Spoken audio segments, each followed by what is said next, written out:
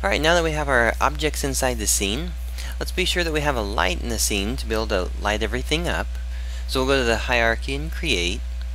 And inside of it, you'll see one that says light. Go down to the directional light.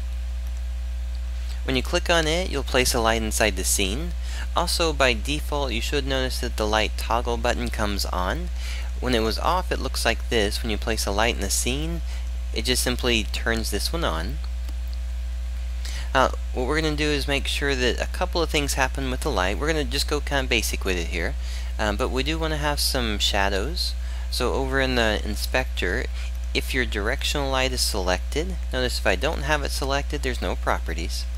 If I left click and select the directional light, I'll have my properties in the inspector. Each component, again, has the basic set of properties for them. Well, the light component is going to have one called shadow type. If you click on the drop down and choose soft shadows, you'll notice now that you have a set of shadows coming from your objects.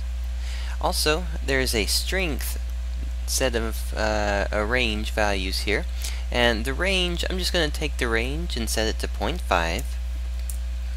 That way our, um, our shadows right here are a little bit softer. with the light inside the scene and it's setting up like this, um, one of the things you may notice is if you zoom in and out on your light, the icon itself um, gets larger and larger. Um, also the grid is inside the scene. Now there's two, those are two things that I usually don't use for uh, basic projects, um, which is the uh, dynamic scaling of a icon. On the scene tab, let's go ahead and just take a look at this. If we go over to our gizmo and click on the gizmo button, so if you left click on gizmo button, you're going to notice that everything inside of here are optional properties to be able to be seen or not seen inside of your edit mode. I'm going to go to the one that says 3D Gizmos up at the top and left click on the checkbox to turn it off. Now the icon size is going to stay the same. And then the show grid option, I'm just going to uncheck this one as well. If you click off of it, it'll go away, or you can click back on it to uh, take it back up. Once we have that, we have a little bit cleaner of a scene now. So with the scene set up, with our light inside the scene, last thing on our hierarchy is going to be to just create two empty game objects so that we can actually place the rest of our actors and objects inside of them. On the hierarchy create, you have one called create empty. Your hotkey, control shift N, or just create empty right here. We're going to rename the game object. We'll create one called scene static. And then we can use Control D to make a copy of our selected object as well. So Control D and we can say scene dynamic. So we'll have anything that's not going to be physics objects or scripting objects. It's just simply uh, static filler objects. We'll place inside of here. And then dynamic objects, then again it'll be physics objects, component based objects. The uh, scene and static, notice the positions are actually not at zero. You can select both. You can select both by left clicking on a static and then holding control and left clicking on scene. And we can affect multiple objects at the same time. So now we've moved both the objects over to 0, 0, 0. With these objects, let's go ahead and drag the rest of our game objects into them. So static, let's say it's going to be directional light. So I'm just going to hold control, left click on main camera and ground. We'll place those inside of static. And then all the objects we'll play with, we'll place those inside of our scene dynamic. Now the labeling for these, this can be very different based on the project or just based on uh, each developer. You may have your different words you'd like to use for them. Now that we have our setup for our hierarchy, we now have all of our basic objects we need.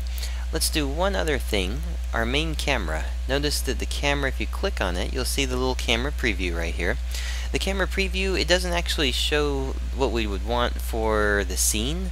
So let's go ahead and rotate our scene itself to an angle that's just slightly above and slightly zoomed out like this. So I'm going to move it where it's just a little bit of an angle so I can see everything going on. With the main camera selected, you can go over to your game object and go down to the one that says align with view. Your hotkey is Control Shift F. If you click on it, you'll notice that your camera now aligns itself with the scene view. So now you have the camera view. If you click on the game tab, you'll notice the game tab is now mimicking the same angle as this one.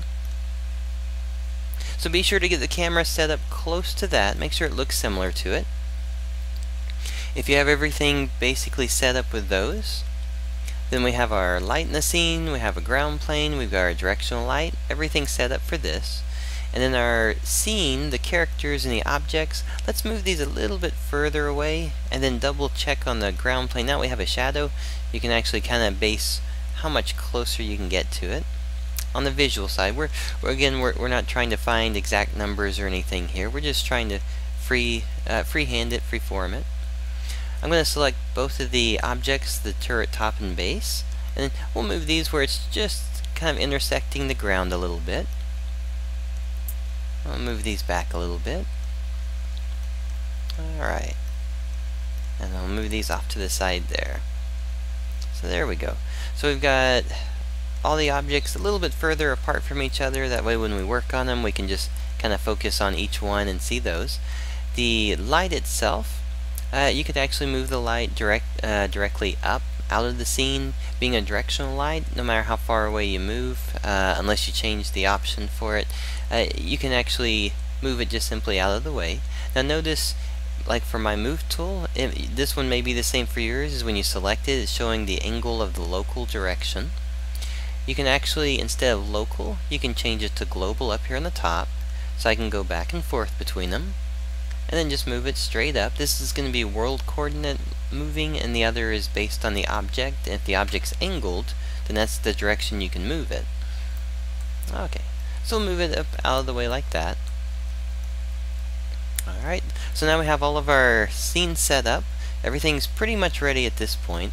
The one thing that we're going to want to do next is set up a few of the different colors and materials for these objects.